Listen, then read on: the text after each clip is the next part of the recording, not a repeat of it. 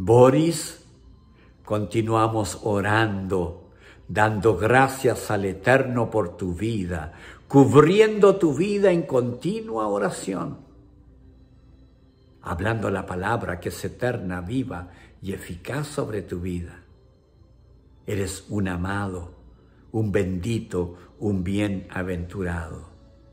Damos gracias porque el Espíritu Santo está trabajando en tu corazón, Boris. Bendecido.